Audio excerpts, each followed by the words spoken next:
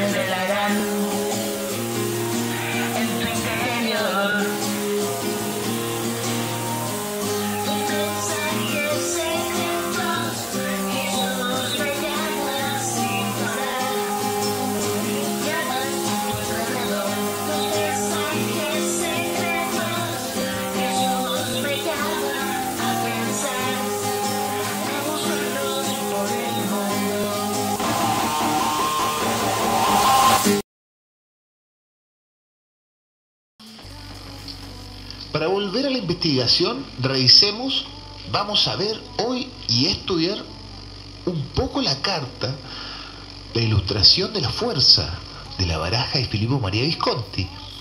Bueno, la pintura nos revela a un ser mitológico de la Grecia antigua o a uno del Antiguo Testamento. Primero encontramos que son distintas a las que siempre estamos acostumbrados a ver en las librerías.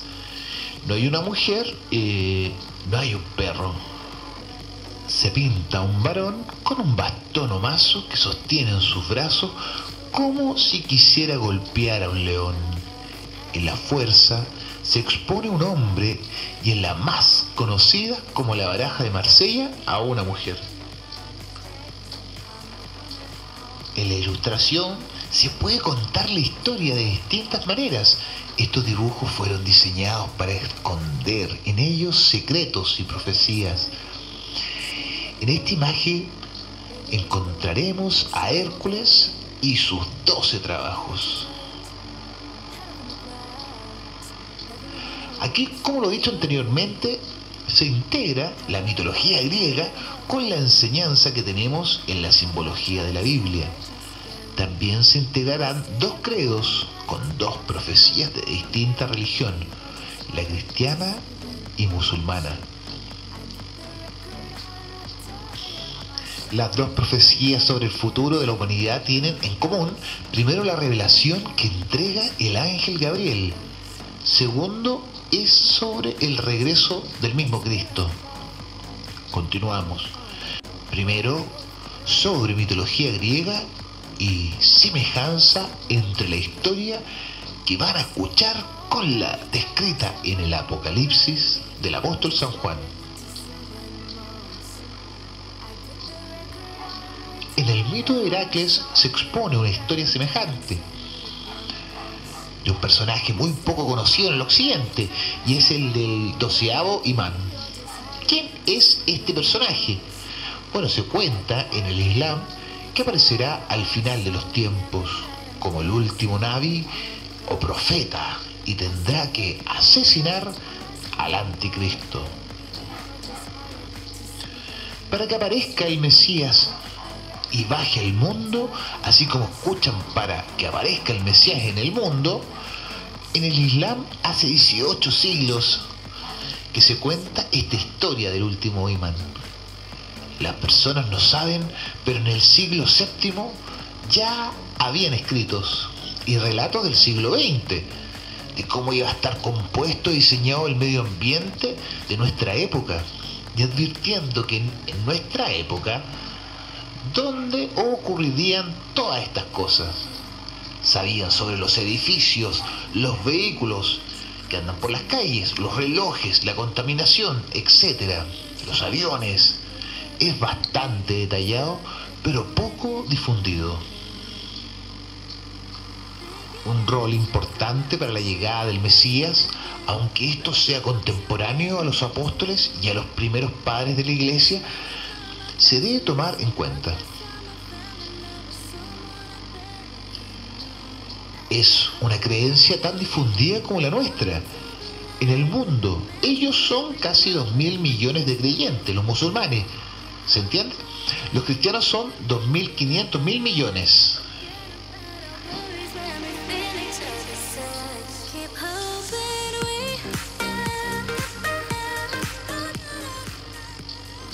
Hoy vivimos una etapa que se llama la parucía. Lo revela y lo cuenta de manera discreta o moderada la misma Iglesia Católica. Tienen problemas con la catequesis, ya que esto se refiere a una venida de Jesús en la tierra y entre nosotros.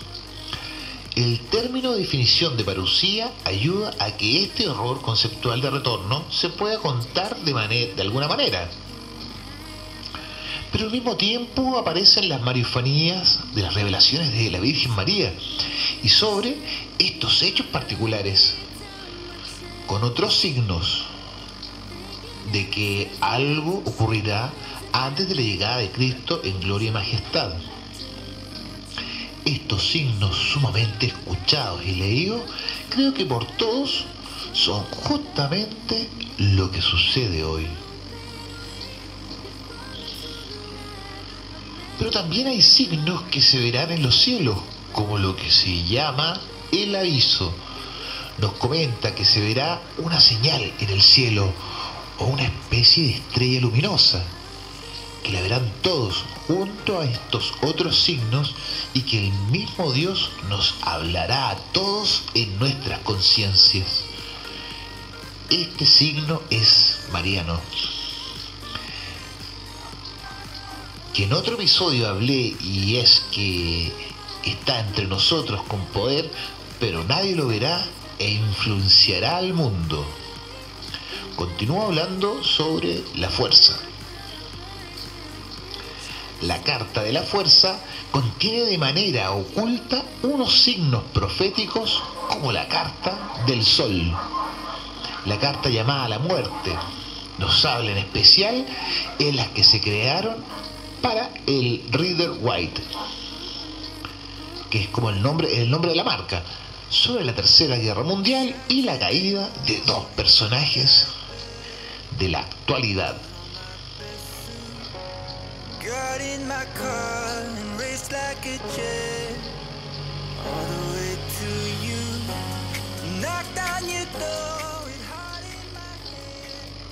and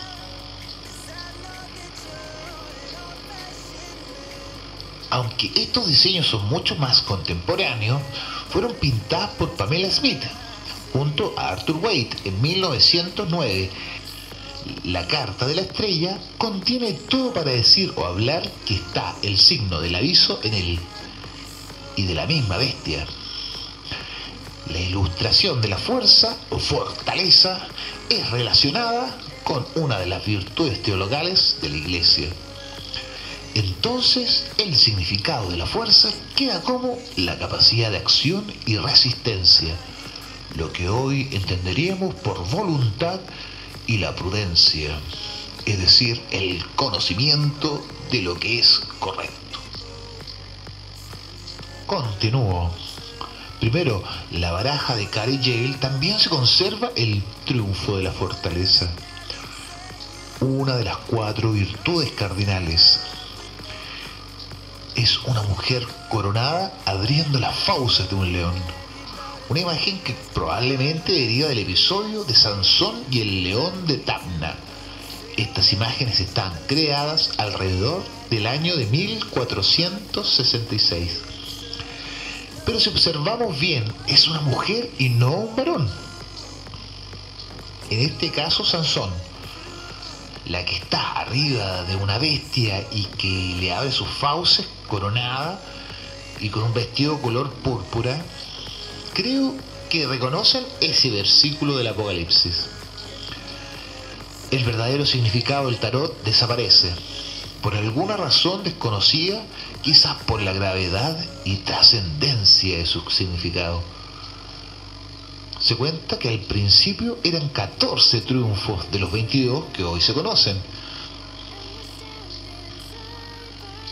En 1493, Ludovico Sforza, cuyo apellido significa literalmente fuerza, por lo que no podemos descartar que fuera una manera de identificar a Francesco Forza con la misma,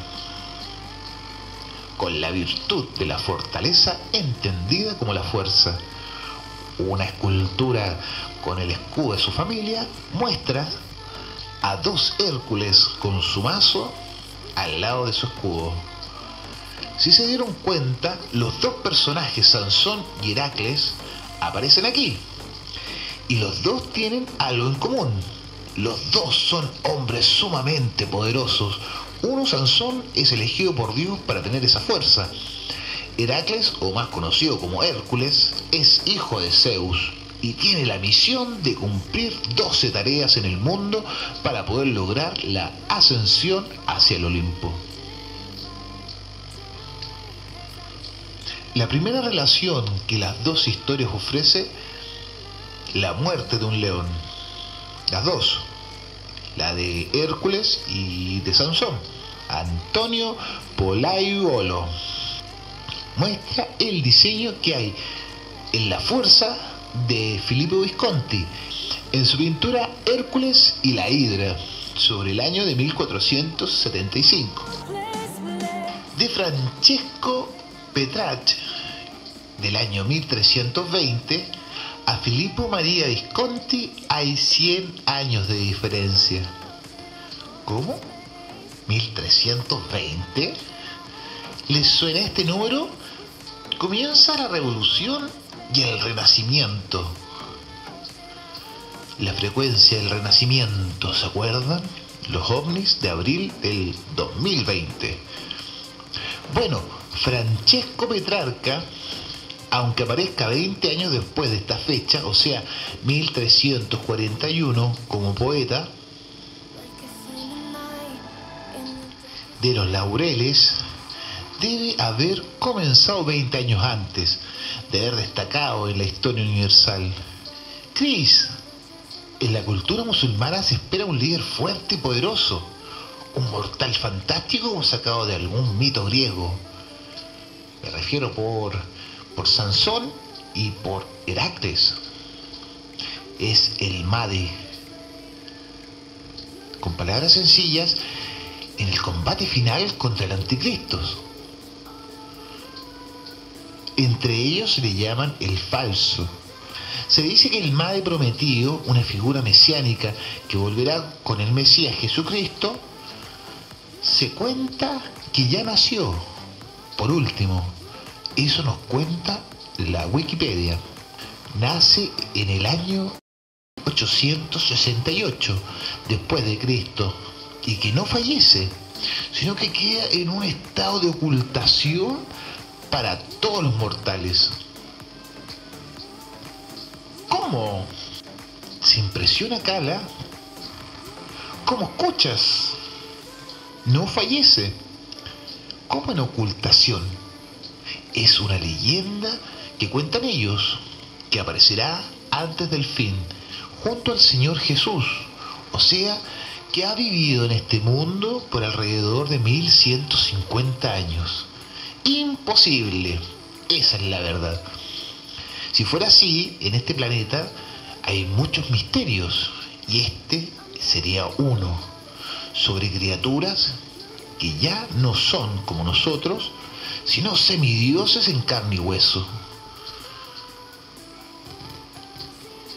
¡Qué miedo! dijo Cala. Hay un tipo de nombre, hay un tipo de nombre Benjamin Crane que habla desde 1960 del estado de ocultación de un ser de estas características y que se llama Lord Maitreya. ¿Quién es Lord Maitreya? Según Benjamin, la última manifestación del Buda, la quinta y la última aparición de su presencia. El nacimiento de este último imán hace dos siglos atrás no será la presencia del falso o para nuestra cultura el falso maestro entre nosotros?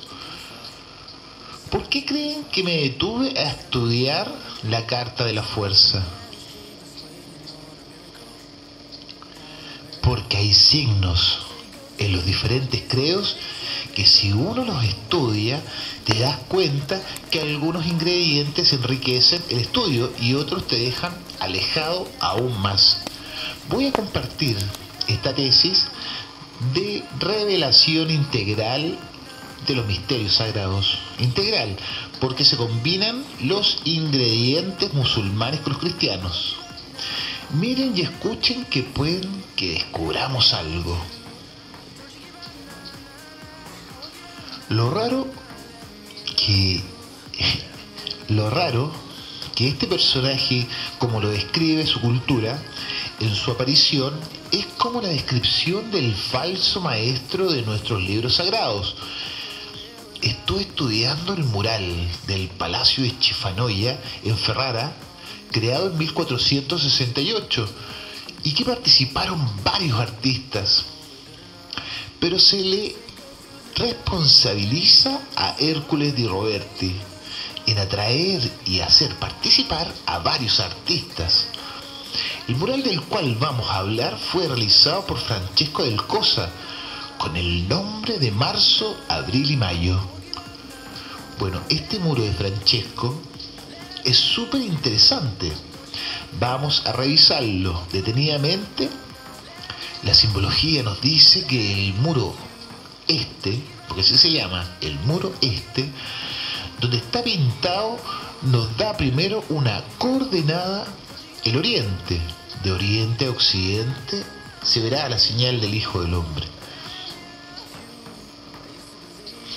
¿Qué tiene que ver esto con lo que estamos hablando? Sigan escuchando. En esta pintura aparece, aparecen varios dioses griegos y cuentan una historia que es una profecía escondida en ella. Pero revisemos y estudiémosla.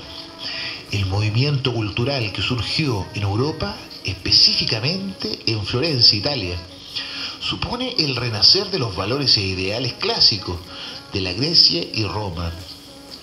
Comienza a partir del siglo XV en el 1400, pero Petrarca y Dante ya estaban en el 1340, en su auge.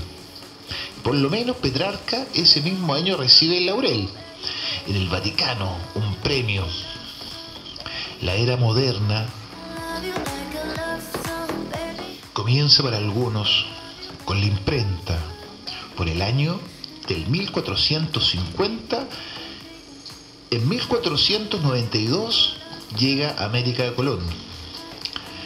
En el Renacimiento se produjo una clara separación entre la religión y filosofía, entre razón y fe, ya que el hombre deja de estar concentrado en Dios y se centra en el mismo. Los rasgos determinantes de la filosofía renacentista eran la concepción metafísica. La metafísica es rama de la filosofía que estudia la naturaleza, la estructura, sus componentes y principios fundamentales de la realidad. La investigación de las nociones fundamentales de cómo entendemos el mundo como entidad ser, existencia, objeto, propiedad, relación, causalidad, tiempo y espacio. Mucho de esto lo estudia hoy las ciencias naturales, como la química, la física, la astronomía, geología y la biología, pero nos estamos alejando. Doctrinas filosóficas y sociológicas se desarrollaron en Europa, hay que recordar que estas cosas solo las vivían un grupo de personas. El resto no podía tener acceso a estos conocimientos. En la época de la descomposición feudal se creó la sociedad burguesa a comienzos del siglo XV. Pero bueno, cuando se cuenta esto, si se fijan, se deja de lado que los estados europeos que estuvieron dominados por el Islam adquirieron también riquezas y conocimientos que le deja esa sociedad que se va alejando y posicionando hacia el oriente nuevamente. Ya que ellos tuvieron un apogeo cultural que dejó huellas en la cultura que nosotros tenemos y conservamos. Una variedad de aromas en la herencia intelectual judía e islámica, cocinada por 1300 años, se tuvo que combinar algunas de estas doctrinas. Esto llevó a desarrollar conceptos y teorías. Bueno, el movimiento filosófico y teológico de la época utilizó la facultad que tenemos todos y es poder pensar. Reflexionar para llegar a la conclusión de algo. Y esto se llama escolasticismo. O sea, esta es la filosofía oficial del Renacimiento. Es la escolástica, que se utilizó para comprender el contenido sobrenatural de la revelación cristiana. O sea, la mezcla del pensamiento griego, su mitología divina, para poder compararlas y encontrar relación de semejanza en dos cosas que son distintas. La herencia filosófica de la, antigüedad, su mitología y su arte se aplicó entonces en las pinturas para traer, repito, pintar una analogía para poder explicar los fenómenos del cristianismo o revelaciones cristianas o profecías. Misterios contenidos en ellas que se relatan, que se relataban en ciertos textos, y no solo cristianos sino musulmanes. Se habla que después de la famosa prédica de San Bernardino sobre unas predicaciones que adquieren el carácter de grandes eventos públicos, las personas de repente, muchos naipes, interesan en Italia un triunfo y un mazo de triunfos. Esto saben cuándo sucede? En 1425. Apolonio de Giovanni fallece en 1465 y fue un diseñador e ilustrador famoso que pintó las ilustraciones del libro de Petrarca, de los triunfos, por los años de 1420 y 1429. Si recuerdan, hace un rato atrás, la familia Visconti fue quien protegió la vida de Francesco Petrarca y quien hace aparecer la baraja en 1420 a 1429, mientras Apolio de Giovanni le adjunta las ilustraciones al escrito Los Triunfos.